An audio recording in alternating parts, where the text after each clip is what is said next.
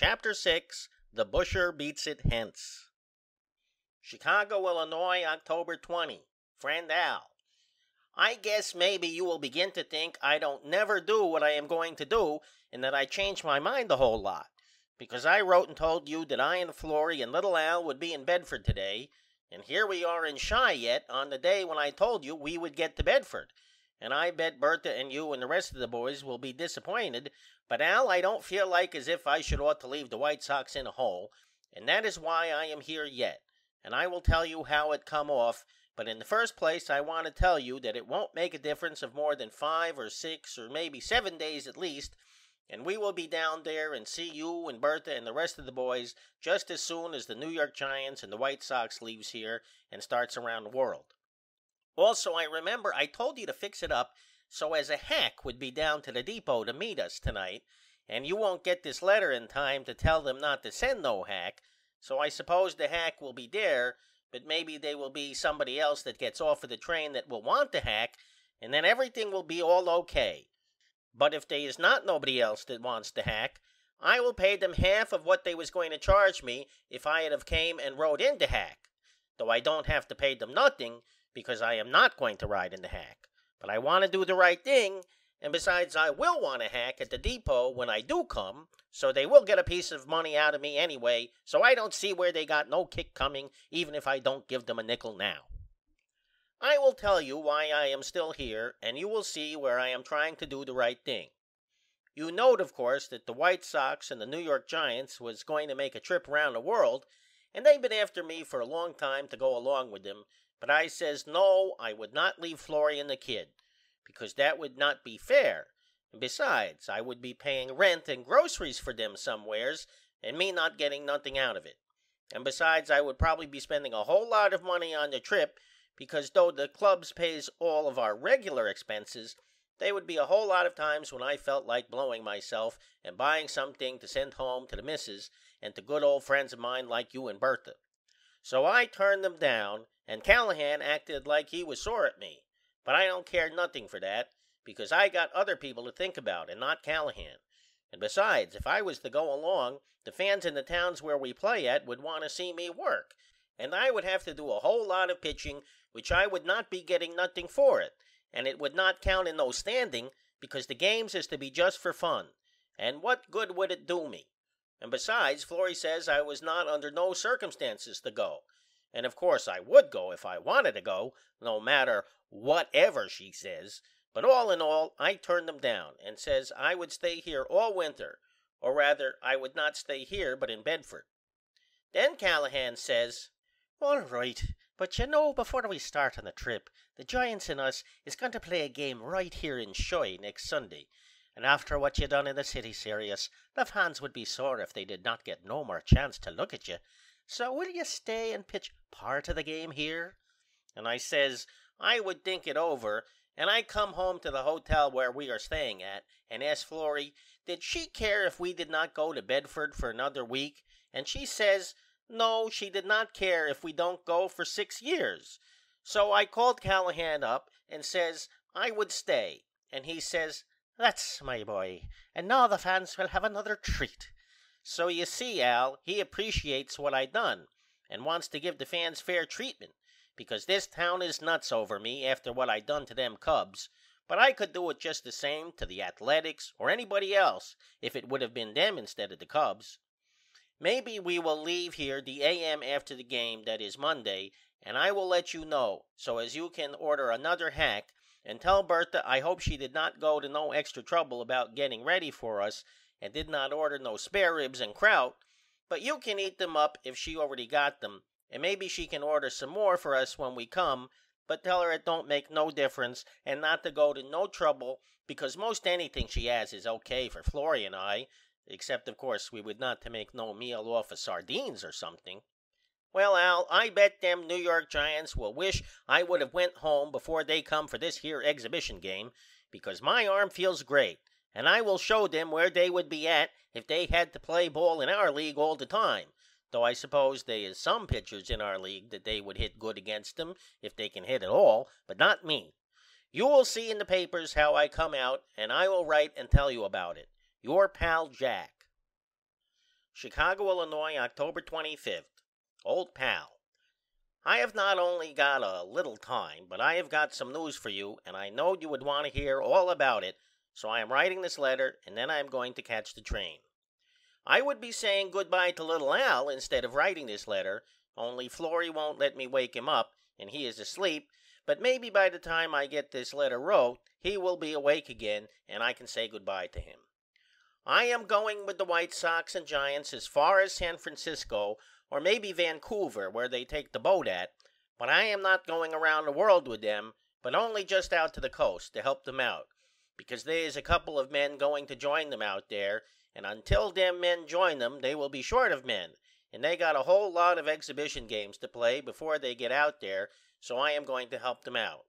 It all come off in the clubhouse after the game today, and I will tell you how it come off, but first I want to tell you about the game and honest, Al, them Giants is the luckiest team in the world, and it is not no wonder they keep winning the pennant in that league because a club that has got their luck could win ball games without sending no team on the field at all but staying down to the hotel.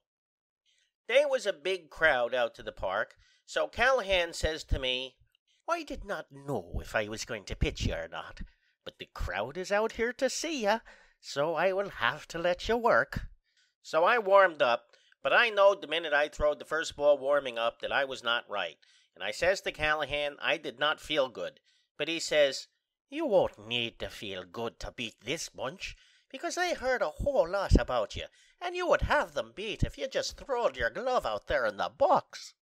So I went in and tried to pitch, but my arm was so lame it pretty near killed me every ball I throwed, and I bet if I was some other pitchers they would not never have tried to work with my arm so sore. But I am not like some of them yellow dogs and quit, because I would not disappoint the crowd or throw Callahan down when he wanted me to pitch and was depending on me. You know me, Al. So I went in there, but I did not have nothing, and if them Giants could have hit at all, instead of like a lot of little girls, they would have knocked down the fence, because I was not myself. At that they should not ought to have had only the one run off of me if Weaver and them had not of begun kicking the ball around like it was a football or something. Well, Al, what with dropping fly balls and booting them around and this and that, the Giants was gave five runs in the first three innings, and they should ought to have had just the one run, or maybe not that. And that ball Merkle hit into the seats, I was trying to waste it, and a man that is a good hitter would not never have hit at it, and if I was right, this here Merkle could not foul me in nine years.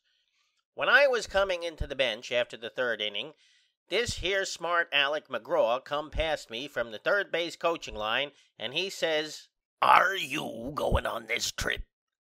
And I says, No, I am not going on no trip. And he says, That's too bad, because if you was going, we would win a whole lot of games and I give him a hot comeback, and he did not say nothing. So I went in to the bench, and Callahan says, Them Giants is not such rotten hitters, is they? And I says, No, they hit pretty good when a man has got a sore arm against. And he says, Why did you not tell me your arm was sore? And I says, I did not want to disappoint no crowd that come out here to see me. And he says, well, I guess you need not pitch no more, because if I left you in there, the crowd might begin to get tired of watching you about ten o'clock tonight. And I says, What do you mean? And he did not say nothing more, so I set there a while and then went to the clubhouse. Well, Al, after the game, Callahan come in to the clubhouse, and I was still in there yet, talking to the trainer and getting my arm rubbed. And Callahan says, Are you getting your arm in shape for next year? And I says, No, but it give me so much pain I could not stand it. And he says, I bet if you was feeling good, you could make those Giants look like a sucker. And I says, You know I could make them look like a sucker. And he says, Well, why don't you come along with us, and you'll get another chance at them when you feel good. And I says, I would like to get another crack at them, but I could not go away on no trip and leave the missus and the baby.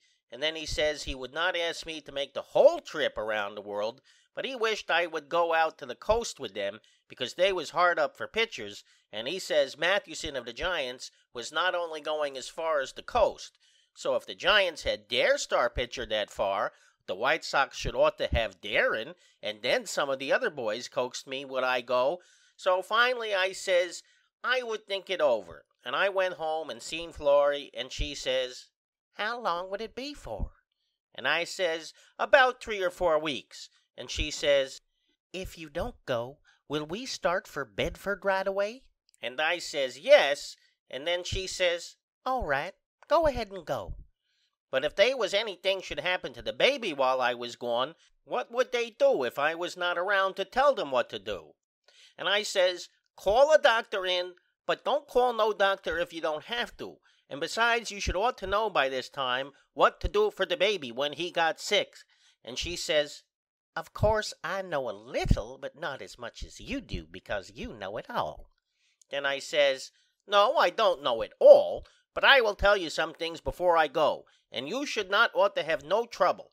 So we fixed it up and her and little Al is to stay here in the hotel until I come back which will be about the 20th of November and then we will come down home and tell Bertha not to get too impatient and we will get there sometime. It is going to cost me $6 a week at the hotel for a room for she and the baby besides their meals but the baby's meals don't cost nothing yet and Florrie should not ought to be very hungry because we've been living good and besides she will get all she can eat when we come to Bedford and it won't cost me nothing for meals on the trip out to the coast because Comiskey and McGraw pays for that. I have not even had no time to look up where we play at but we stop off at a whole lot of places on the way and I will get a chance to make them Giants look like a sucker before I get through and McGraw won't be so sorry I am not going to make the whole trip. You will see by the papers what I done to them before we get through and I will write as soon as we stop somewheres long enough so as I can write. And now I am going to say good bye to little Al if he is awake or not awake and wake him up and say good bye to him because even if he is not only 5 months old he is old enough to think a whole lot of me and why not. I also got to say good bye to Florrie and fix it up with the hotel clerk about she and the baby staying here a while and catch the train. You will hear from me soon old pal. Your pal Jack. St. Joe, Mississippi, October 29. FRIEND AL: Well Al we are on our way to the coast and they is quite a party of us though it is not no real White Sox and Giants at all but some players from off of both clubs and then some others that is from other clubs around the 2 leagues to fill up. We got Speaker from the Boston Club and Crawford from the Detroit Club and if we had them with us all the time Al I would not never lose a game because one or the other of them two is good for a couple of runs every game and that is all I need to win my games is a couple of runs or only one run and I would win all my games and would not never lose a game. I did not pitch today and I guess the Giants was glad of it because no matter what McGraw says he must have saw from watching me Sunday that I was a real pitcher though my arm was so sore I could not hardly raise it over my shoulder so no wonder I did not have no stuff but at that I could of beat his gang without no stuff if I had of had some kind of decent support. I will pitch against him maybe to morrow or maybe some day soon and my arm is all O.K. again now so I will show them up and make them wish Callahan had of left me to home. Some of the men has brung their wife along and besides that there is some other men and their wife that is not no ball players but are going along for the trip and some more will join the party out the coast before they get aboard the boat but of course I and Mathewson will drop out of the party then because why should I or him go around the world and throw our arms out pitching games that don't count no standing and that we don't get no money for pitching them outside of just our bare expenses. The people in the towns we played at so far has all wanted to shake hands with Mathewson and I so I guess they know who is the real pitchers on these here two clubs no matter what them reporters says and the stars is always the men that the people wants to shake their hands with and make friends with them. But Al this here Mathewson pitched today and honest Al I don't see how he gets by. And either the batters in the National League don't know nothing about hitting or else he is such a old man that they feel sorry for him. And maybe when he was about 10 years younger than he is Maybe then he had something and was a pretty fair pitcher but all he does now is stick the first ball right over with nothing on it and pray that they don't hit it out of the park. If a pitcher like Key can get by in the National League and fool them batters they is not nothing I would like better than to pitch in the National League and I bet I would not get scored on in 2 to 3 years. I heard a whole lot about this here fadeaway that he is supposed to pitch and it is a ball that is throwed out between two fingers and falls in at a right hand batter and they is not nobody can't hit it. But if he throwed one of them things today he done it while I was asleep and they was not no time when I was not wide awake and looking right at him. And after the game was over I says to him Where is that fadeaway I heard so much about? And he says Oh I did not have to use none of my regular stuff against your club. And I says Well you would have to use all you got if I was working against you. And he says Yes if you worked like you done Sunday I would have to do some pitching or they would not never finish the game. Then I says about me having a sore arm Sunday and he says I wished I had a sore arm like yourn and a little sense with it and was your age and I would not never lose a game. So you see Al he has heard about me and is jealous because he has not got my stuff but they can't everybody expect to have the stuff that I got or half as much stuff. This smart Alec McGraw was trying to kid me today and says Why did not I make friends with Mathewson and let him learn me something about pitching? And I says Mathewson could not learn me nothing. And he says I guess that's right. And I guess they is not nobody could learn you nothing about nothing. And if you was to stay in the league twenty years, probably you would not be no better than you are now. So you see he had to admit that I am good, Al, even if he has not saw me work when my arm was okay. McGraw says to me, Tonight, he says, I wished you was going all the way. And I says, Yes, you do. I says, Your club would look like a sucker after I had worked against them a few times. And he says, Maybe that's right, too because they would not know how to hit against a regular pitcher after that. Then he says, But I don't care nothing about that.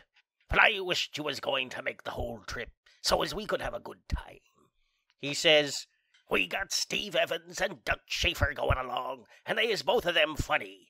But I like to be around with boys that is funny and don't know nothing about it. I says, Well, I would go along only for my wife and baby. And he says, Yes, it would be pretty tough on your wife to have you away that long. But still and all, think how glad she would be to see you when you come back again. And besides, them dolls across the ocean will be pretty sore at I and Callahan if we tell them we left you to home. I says, Do you suppose the people over there has heard about me? And he says, Sure, because they have wrote a lot of letters asking to be sure to bring you and Mathewson along. Then he says, I guess Mathewson is not going, so if you was to go and him left here to home, there would be nothing to it. You could have things all your own way, and probably could marry the Queen of Europe if you was not already married. He was giving me the straight dope this time, Al, because he did not crack a smile, and I wished I could go along, but it would not be fair to Florrie. But still and all, did not she leave me and beat it for Texas last winter? And why should not I do the same thing to her? Only I am not that kind of man. You know me, Al. We play in Kansas City tomorrow, and maybe I will work there because it is a big town. And I have got to close now and write to Florrie. Your old pal Jack. Abilene, Texas, November 4.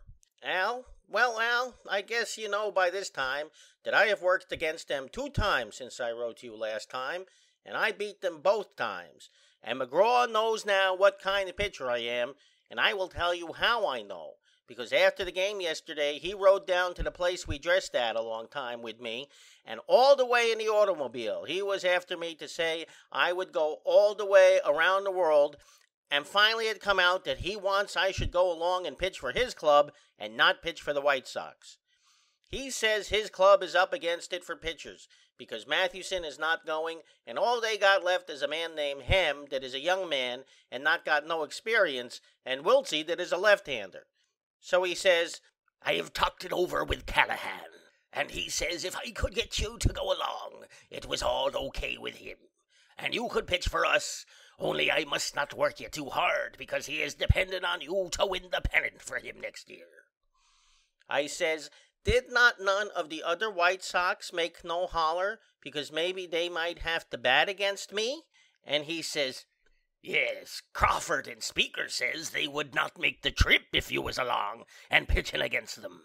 But Callahan showed them where it would be good for them next year. Because if they hit against you all winter, the pitchers they hit against next year will look easy to them. He was crazy to have me go along on the whole trip, but of course, Al, they is not no chance of me going on account of Florrie and little Al.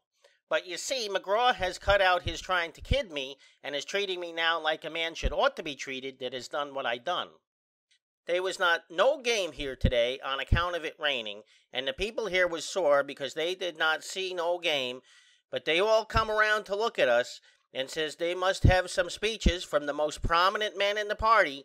So I and Comiskey and McGraw and Callahan and Mathewson and Ted Sullivan, that I guess is putting up the money for the trip, made speeches, and they clapped their hands harder when I was making my speech than when any one of the others was making their speech. You did not know I was a speech maker, did you, Al? And I did not know it neither until today. But I guess they is not nothing I can do if I make up my mind. And one of the boys says that I done just as well as Dummy Taylor could have. I have not heard nothing from Florrie, but I guess maybe she is too busy taking care of little Al to write no letters and I am not worrying none because she give me her word she would let me know was they something the matter. Yours truly, Jack. San Diego, California, November 9. Friend Al. Al, sometimes I wished I was not married at all, and if it was not for Florrie and little Al, I would go around the world on this here trip and I guess the boys in Bedford would not be jealous if I was to go around the world and see everything they is to be saw, and some of the boys down home has not never been no farther away than Terre Haute, and I don't mean you, Al, but some of the other boys. But of course, Al, when a man has got a wife and a baby, they is not no chance for him to go away on one of these here trips and leave them alone. So they is not no use I should even think about it. But I can't help thinking about it because the boys keeps after me all the time to go. Callahan was talking about it to me today and he says he knowed that if I was to pitch for the Giants on the trip his club would not have no chance of winning the most of the games on the trip. But still and all he wished I would go along because he was a scared the people over in Rome and Paris and Africa and them other countries would be awful sore if the two clubs come over there without bringing none of their star pitchers along.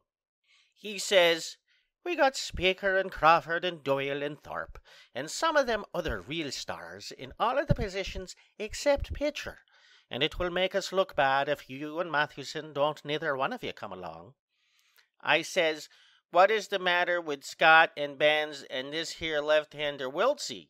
And he says, is not nothing the matter with none of them, except they is not no real stars like you and Mathewson and if we can't show them foreigners one or two of you, we will feel like we was cheating them.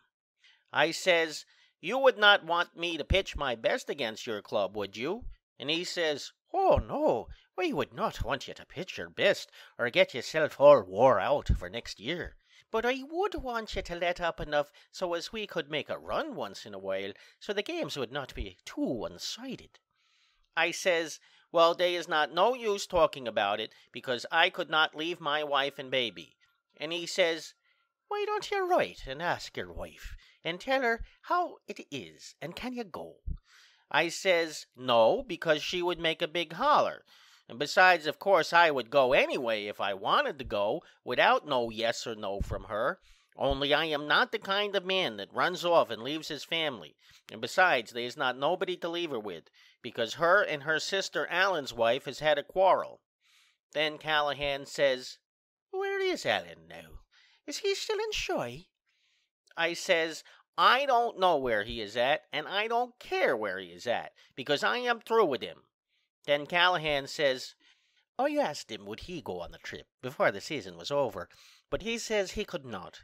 And if I'd knowed where was he, I would wire a telegram to him and ask him again. I says, What would you want him along for? And he says, Because McGraw is shy of pitchers, and I says I would try and help him find one. I says, Well, you should ought not to have no trouble finding a man like Allen to go along because his wife probably would be glad to get rid of him. Then Callahan says, Well, I wish you would get a hold of where Allen is at and let me know so I can wire him a telegram. Well, Al, I know where Allen is at, all O.K., but I am not going to give his address to Callahan because McGraw has treated me all O.K., and why should I wish a man like Allen on him? And besides, I am not going to give Allen no chance to go around the world or nowheres else after the way he acted about I and Florrie having a room in his flat and asking me to pay for it when he give me an invitation to come there and stay. Well, Al, it is too late now to cry into sour milk. But I wish I had not never saw Florrie until next year and then I and her could get married just like we done last year only I don't know would I do it again or not but I guess I would on account of little Al. Your pal Jack. San Francisco, California, November 14. Old pal. Well, old pal, what do you know about me being back here in San Francisco where I give the fans such a treat two years ago and then I was not nothing but a busher and now I am with a team that is going around the world and are crazy to have me go along. Only I can't because of my wife and baby. Callahan wired a telegram to the reporters here from Los Angeles telling them I would pitch here and I guess they is going to be 20 or 25,000 out to the park and I will give them the best I got. But what do you think Florrie has did, Al? Her and the Allens has made it up their quarrel and is friends again and Marie told Florrie to write and tell me she was sorry we had that there argument and let bygones be bygones. Well Al it is all O.K. with me because I can't help not feeling sorry for Allen because I don't believe he will be in the league next year. And I feel sorry for Marie too because it must be pretty tough on her to see how well her sister done and what a mistake she made when she went and fell for a left hander that could not fool a blind man with his curve ball and if he was to hit a man in the head with his fastball they would think their nose itched. In Florrie's letter she says she thinks us and the Allens could find another flat like the one we had last winter and all live in it together instead of going to Bedford. But I have wrote to her before I started writing this letter already and told her that her and I is going to Bedford and the Allens can go where they feel like and they can go and stay on a boat on Michigan Lake all winter if they want to but I and Florrie is coming to Bedford. Down to the bottom of her letter she says Allen wants to know if Callahan or McGraw is shy of pitchers and maybe he would change his mind and go along on the trip. Well Al I did not ask either Callahan nor McGraw nothing about it because I knowed they was looking for a star and not for no left hander that could not break a pane of glass with his fast one so I wrote and told Florrie to tell Allen they was all filled up and would not have no room for no more men. It is pretty near time to go out to the ballpark and I wished you could be here Al and hear them San Francisco fans go crazy when they hear my name announced to pitch. I bet they wish they had of had me here this last year.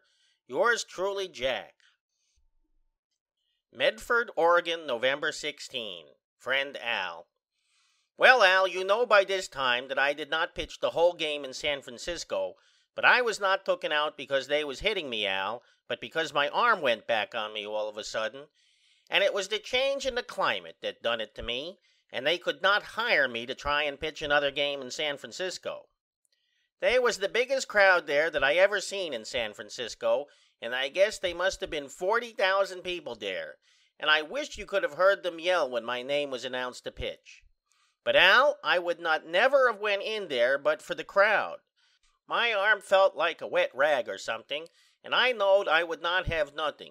And besides the people was packed in around the field and they had to have ground rules. So when a man hit a fly ball it went into the crowd somewheres and was a two bagger and all them Giants could do against me was pop my fastball up in the air and then the wind took hold of it and dropped it into the crowd the lucky stiffs.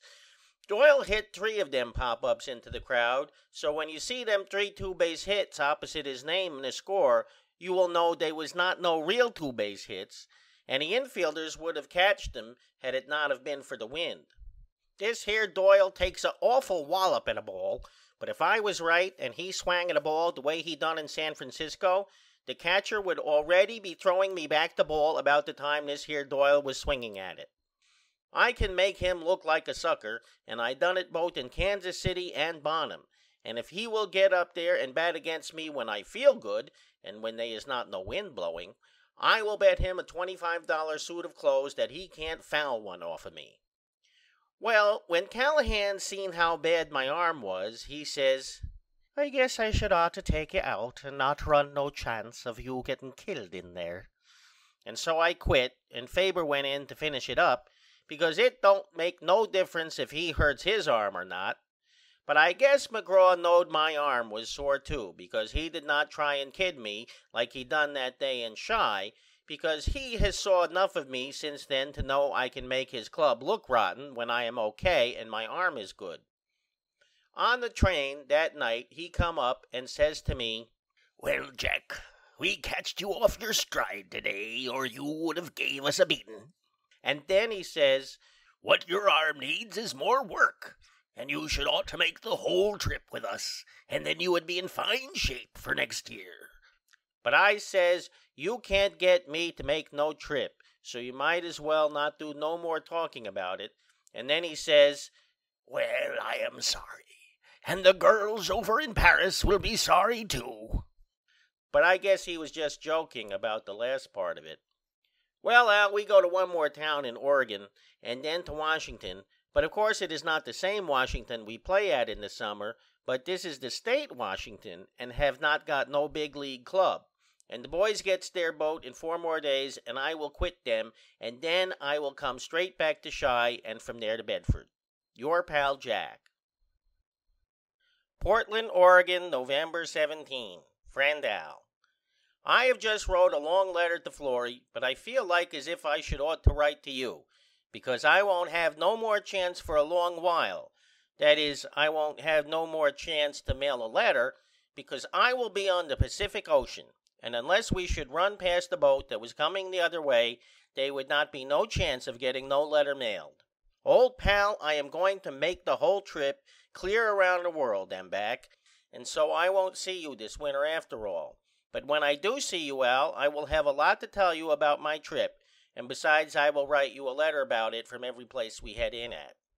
I guess you will be surprised about me changing my mind and making the whole trip, but they was not no way for me to get out of it, and I will tell you how it all come off. While we was still in that there Medford yesterday, McGraw and Callahan come up to me and says was they not no chance of me changing my mind about making the whole trip. I says No they was not. Then Callahan says Well I don't know what we're going to do then. And I says Why? And he says Comiskey just got a letter from President Wilson, the President of the United States, and in the letter President Wilson says he got another letter from the King of Japan who says that they would not stand for the White Sox and Giants coming to Japan unless they brought all their stars along. And President Wilson says they would have to take their stars along because he was a scared if they did not take their stars along, Japan would get mad at the United States and start a war, and then where would we be at? So Comiskey wired a telegram to President Wilson and says Mathewson could not make the trip because he was so old, but would everything be all okay if I was to go along? And President Wilson wired a telegram back and says, yes, he had been talking to the priest from Japan, and he says, yes, it would be all okay. I asked him would they show me the letter from President Wilson because I thought maybe they might be kidding me. And they says they could not show me no letter because when Comiskey got the letter, he got so mad that he tore it up. Well, Al, I finally says I did not want to break up their trip, but I knowed Florrie would not stand for letting me go, so Callahan says, All right, I will wire a telegram to a friend of mine in Chi and have him get a hold of Allen and send him out here, and we will take him along. And I says, It is too late for Allen to get here in time, and McGraw says, no, they was a train that only took two days from Chi to wherever it was the boat is going to sail from, because the train come around through Canada, and it was downhill all the way. Then I says, Well, if you will wire a telegram to my wife and fix things up with her, I will go along with you. but if she is going to make a holler it is all off. So we all three went to the telegram office together and we wired Florrie a telegram that must have cost $2 but Callahan and McGraw paid for it out of their own pocket. And then he waited around a long time and the answer come back and the answer was longer than the telegram we wired and it says it would not make no difference to her but she did not know if the baby would make a holler but he was hollering most of the time anyway so that would not make no difference. But if she let me go it was on condition that her and the Allens could get a flat together and stay in Chi all winter and not go to no Bedford and hire a nurse to take care of the baby. And if I would send her a check for the money I had in the bank so as she could put it in her name and draw it out when she needed. Well, I says, at first I would not stand for nothing like that but Callahan and McGraw showed me where I was making a mistake not going when I could see all them different countries and tell Florrie about the trip when I come back and then in a year or two when the baby was a little older I could make another trip and take little Al and Florrie along. So I finally says okay I would go and we wires still another telegram to Florrie and told her okay and then I set down and wrote her a check for half the money I got in the bank and I got 500 altogether there so I wrote the check for half of that or $250 and mailed it to her and if she can't get along on that she would be a awful spendthrift because I am not only going to be away until March. You should ought to have heard the boys cheer when Callahan tells them I am going to make the whole trip but when he tells them I am going to pitch for the Giants and not for the White Sox I bet Crawford and Speakers and them wished I was to stay home. But it is just like Callahan says. If they bat against me all winter the pitchers they bat against next seasons will look easy to them. And you won't be surprised Al if Crawford and Speaker hits about 500 next year. And if they hit good you will know why it is. Steve Evans asked me was I all fixed up with clothes and I says No but I was going out and buy some clothes including a full dress suit of evening clothes and he says You don't need no full dress suit of evening clothes because you look funny enough without 'em. This Evans is a great kidder Al and nobody never gets sore at the stuff he pulls. Something like Kid Gleason. I wish Kid Gleason was going on the trip Al but I will tell him all about it when I come back. Well Al old pal I wished you was going along too and I bet we could have the time of our life but I will write to you right along Al and I will send Bertha some postcards from the different places we had in at. I will try and write you a letter on the boat and mail it as soon as we get to the first station which is either Japan or Yokohama I forget which. Good by Al and say good by to Bertha for me and tell her how sorry I and Florrie is that we can't come to Bedford this winter but we will spend all the rest of the winters there and her and Florrie will have plenty of time to get acquainted. Good by old pal. Your pal, Jack. Seattle, Washington, November 18. AL. Well Al it is all off and I am not going on no trip around the world and back and I've been looking for Callahan or McGraw for the last half hour to tell them I have changed my mind and am not going to make no trip because it would not be fair to Florrie and besides that I think I should ought to stay home and take care of little Al and not leave him to be taken care of by no trained nurse because how do I know what she would do to him? And I am not going to tell Florrie nothing about it but I am going to take the train tomorrow night right back to Chi and surprise her when I get there and I bet both her and little Al will be tickled to death to see me. I suppose McGraw and Callahan will be sore at me for a while but when I tell them I want to do the right thing and not give my family no raw deal I guess they will see where I am right.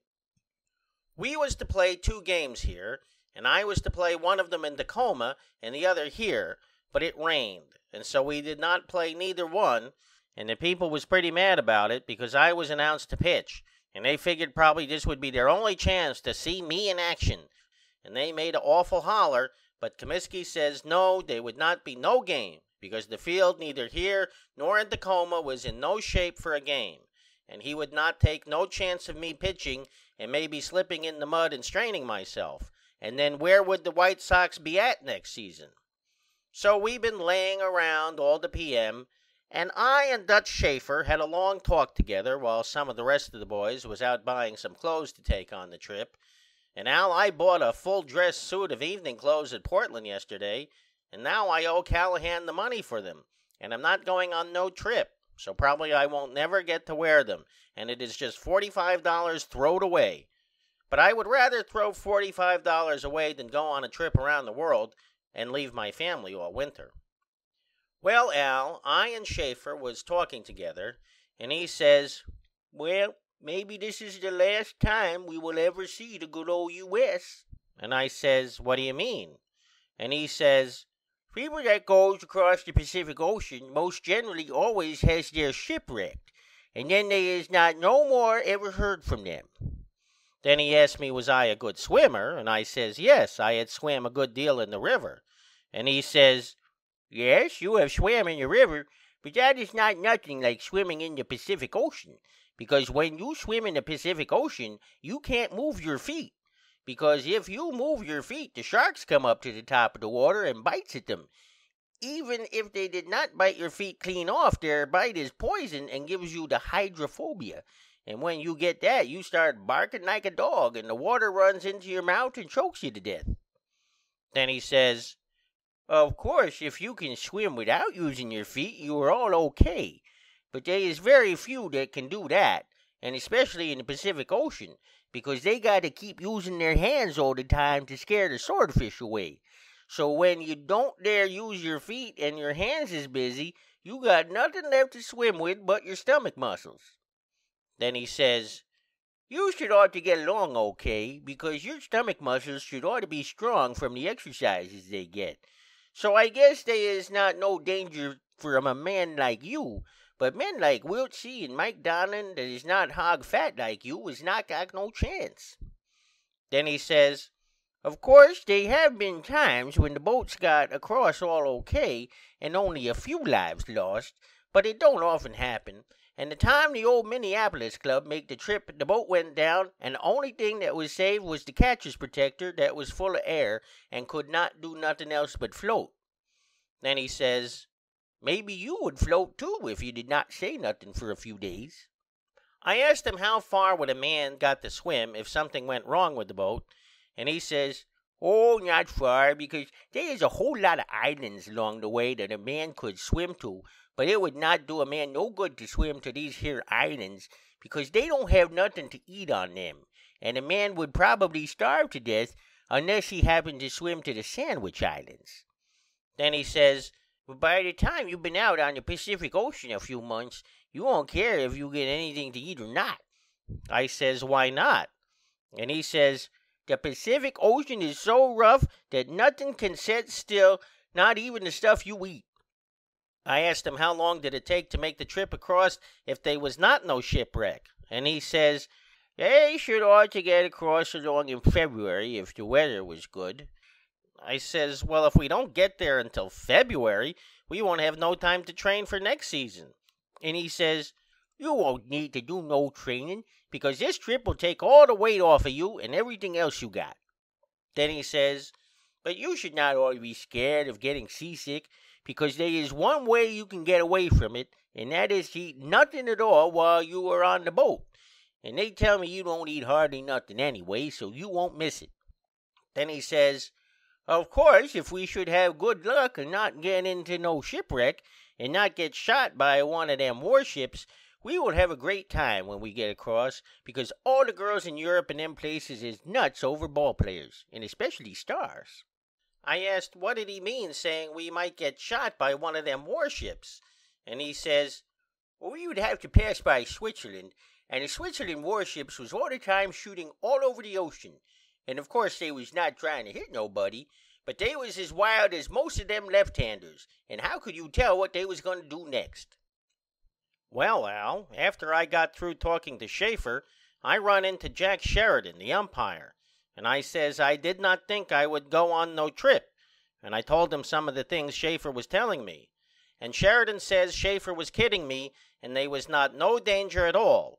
And of course, Al, I did not believe half of what Schaefer was telling me, and that has not got nothing to do with me changing my mind. But I don't think it is not hardly fair for me to go away on a trip like that and leave Florrie and the baby, and suppose some of them things really did happen, like Schaefer said, though of course he was kidding me. But if one of them was to happen, they would not be nobody left to take care of Florrie and little Al. And I got a thousand dollar insurance policy, but how do I know after I am dead if the insurance company comes across and gives my family the money? Well, Al, I will mail this letter and then try again and find McGraw and Callahan, and then I will look up a timetable and see what train can I get to Chi.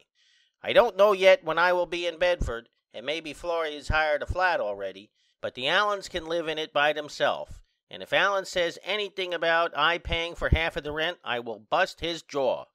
Your pal Jack. Victoria, Canada, November 19. Dear old Al. Well, old pal, the boat goes tonight, and I am going along. And I would not be taking no time to write this letter, only I wrote to you yesterday and says I was not going, and you probably would be expecting to see me blow into Bedford in a few days. And besides, Al, I got a whole lot of things to ask you to do for me if anything happens. And I want to tell you how it come about that I changed my mind and am going on the trip. I am glad now that I did not write Florrie no letter yesterday and tell her I was not going, because now I would have to write her another letter and tell her I was going, and she would be expecting to see me the day after she got the first letter, and instead of seeing me she would get the second letter and not me at all. I have already wrote her a goodbye letter today, though, and while I was writing it out, I almost broke down and cried, and especially when I thought about leaving little Al so long and maybe when I see him again, he won't be no baby no more. Or maybe something will have happened to him. Or that train nurse did something to him. Or maybe I won't never see him again no more because it is pretty near a cinch that something will either happen to I or him. I would give almost anything I got, Al, to be back in Chi with little Al and Florrie, and I wish she had not have never wired that telegram telling me I could make the trip. And if something happens to me, think how she will feel whenever she thinks about wiring me that telegram, and she will feel almost like as if she was a murderer. Well, Al, after I had wrote you that letter yesterday, I found Callahan and McGraw, and I told them I have changed my mind and am not going on no trip. Callahan says, What's the matter? And I says, I don't think it would be fair to my wife and baby. And Callahan says, Your wife says it would be all okay because I seen the telegram myself. I says, Yes, but she don't know how dangerous the trip is. And he says, Who's been kidding you? And I says, They has not nobody been kidding me. I says, Dutch Schaefer told me a whole lot of stuff, but I did not believe none of it. And that has not got nothing to do with it. I says, I am not as scared of nothing. But suppose something should happen, and then where would my wife and baby be at? Then Callahan says, Schaefer has been giving you a whole lot of hot air, and there is not no more danger on this trip than there is in bed. You've been in a whole lot more danger when you was pitching some of them days when you had a sore arm, and you would be taking more chances of getting killed in Chi by one of them taxicabs or the dog catcher than on the ocean. This here boat we are going on in is the Empress of Japan, and it has went across the ocean a million times without nothing happening. And they could not nothing happen to a boat that the New York Giants was riding on, because they is too lucky. Then I says, Well, I have made up my mind to not go on no trip. And he says, All right, then I guess we might as well call the trip off. And I says, Why? And he says, you know what President Wilson says about Japan, and they won't stand for us coming over there without you along. And then McGraw says, Yes, it looks like the trip was off because we don't want to take no chance of starting no war between Japan and the United States. Then Callahan says, You will be in fine with Comiskey if he has to call the trip off because you are a scared of getting hit by a fish. Well, Al, we talked and argued for an hour or an hour and a half, and some of the rest of the boys come round and took Callahan and McGraw's side, and finally Callahan says it looked like as if they would have to postpone the trip a few days until he could get a hold of Allen or somebody and get them to take my place. So finally I says I would go because I would not want to break up no trip after they made all their plans and some of the players' wives was all ready to go and would be disappointed if they was not no trip. So McGraw and Callahan says that's the way to talk and so I am going Al and we are leaving tonight and maybe this is the last letter you will ever get from me but if they does not nothing happen Al I will write to you a lot of letters and tell you all about the trip but you must be looking for no more letters for a while until we get to Japan where I can mail a letter and maybe it's likely as not we won't never get to Japan. Here is the things I want to ask you to try and do Al and I'm not asking you to do nothing if we get through the trip all right. But if something happens and I should be drowned, here is what I am asking you to do for me. And that is to see that the insurance company don't skin Florrie out of that $1,000 policy and see that she also gets that other $250 out of the bank.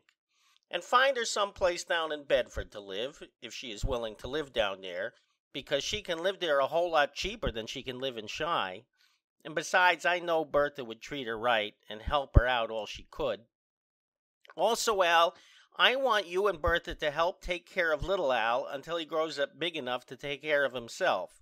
And if he looks like as if he was going to be left handed, don't let him, Al, but make him use his right hand for everything. Well, Al, there is one good thing, and that is if I get drowned, Florrie won't have to buy no lot in no cemetery and hire no hearse. Well, Al, old pal, you always been a good friend of mine, and I always tried to be a good friend of yourn. And if they was ever anything I done to you that was not okay, remember bygones is bygones. I want you to always think of me as your best old pal. Goodbye, old pal. Your old pal Jack. P.S. Al, if they should not nothing happen, and if we was to get across the ocean all okay, I am going to ask McGraw to let me work the first game against the White Sox in Japan because I should certainly ought to be right after giving my arm a rest and not doing nothing at all on the trip across. And I bet if McGraw lets me work, Crawford and Speaker will wish the boat had have sank.